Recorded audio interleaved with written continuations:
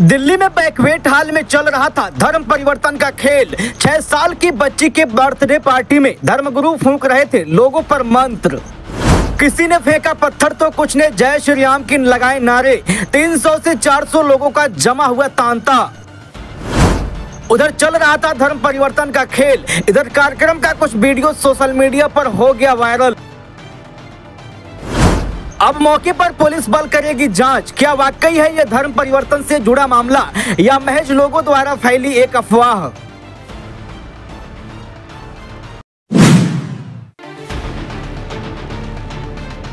दिल्ली के वजीराबाद में धर्म परिवर्तन का मामला सामने आया है। सुन के लग रहा होगा कि यह धर्म परिवर्तन क्या है?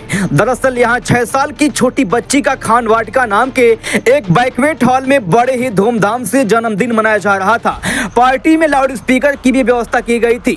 वहीं इस दौरान नामकरण किया जाना था, जिसके लिए धर्मगुरु को बुलाए गए थे। पार्टी का कुछ वीडियो सोशल मीडिया पर वायरल हुआ है, जिसमें साफ़ तौर पर नज़र आ रहा है कि कैसे धर्मगुरु कुछ लोगों पर अपने मंत्र फूंक रहे हैं, जिससे होने वे लोग अजीब हरकत कर रहे हैं। स्थिति इतनी गंभीर हो गई कि पुलिस को सूचना देनी पड़ी, जिसके बाद मौके पर पुलिस बल पहुँची। साथ ही आला अधिकारी भी पहुँचे। पार्टी में मौजूद कुछ हिंदू संगठन के लोगों का आरोप है कि यहाँ शिवकुंज के एक वैकवेट हॉल में क्रिश्चियन कम्युनिटी द्वारा हिंदू लोगों का जबरन धर्म परिवर्तन कराया जा रहा है। 300 से 400 लोगों का भारी संख्या में तांता लग गया था, जिसमें 200 लोग बाहर और 60 लोग अंदर भीड़ जमाए हुए थे। इलाका पूरा तनावपूर्ण हो गया था। सभी एक दूसरे पर पत्थर फेंकने लगे थे। वहीं सभी ज़ोर ज़ोर से जय श्री राम के नारे लगाते भी दिखे।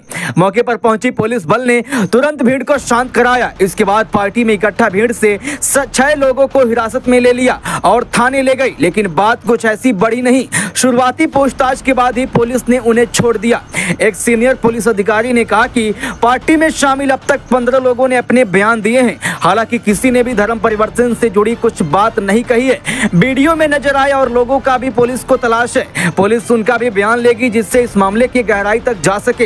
यही नहीं, पीसीआर कॉल करने वाले लोगों को लिखित में अपना बयान देने के लिए कहा गया है। जिला पुलिस इसका रिपोर्ट तैयार करके पुलिस कमिश्नर को भेजेगी। पूरे मामले को खंगाले का जिम्मा एसपी को मिला है। वो इसकी जाँच में जुट गए हैं। अब लोगों से पूछताछ करने के बाद ही पूरी बात क्या है, इसका पता चलेगा कि हकीकत में मामला धर्म परिवर्तन से था या सिर्फ़ लोगों द्वारा फैलाई गई एक अफवाह था। मार्बल ऑल टाइल्स को करे बाय बाय। दीवारों के लिए आ गया इश्का पीवीसी मार्बल सीट। गोड्डा में खुला पहली बार। Krishna interior and decor. एक ऐसा पीवीसी मार्बल सीट दुकान जिसे डायरेक्ट दीवारों पर चिपकाओ और घर को सुंदर बनाओ। 100% waterproof and fireproof 10 साल गारंटी के साथ। साथ ही वॉल पैनलिंग फॉल सेलिंग दीवारों पर वॉलपेपर डिज़ाइनिंग भी उपलब्ध है। अब घर दिखेगा स्वर्ग जैसा। हमारा पता, Godhi Pokhar, Gandhinagar, Godda. Mobile number seven double zero four one seven one eight nine six.